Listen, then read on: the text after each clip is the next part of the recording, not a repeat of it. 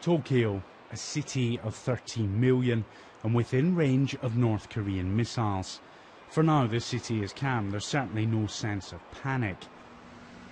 But with warnings of an imminent North Korean missile launch, Japan is taking no chances. It set up Patriot missiles in the capital with orders to shoot down any rocket. Japanese warships equipped with interceptors have also been deployed. Today, Japan's defense minister met the deputy commander of US forces in the country. He said that North Korea's incendiary remarks were completely unacceptable. Tokyo knows that America has its back during this crisis.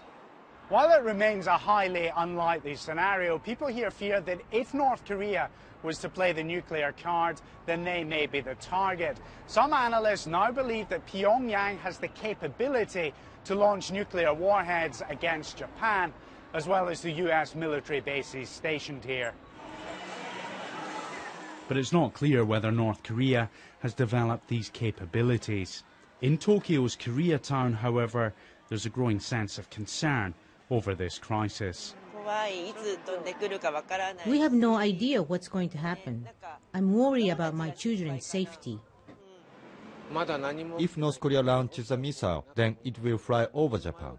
It's a scary prospect.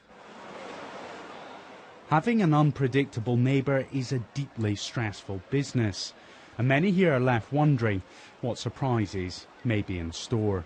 Martin Patience, BBC News, Tokyo.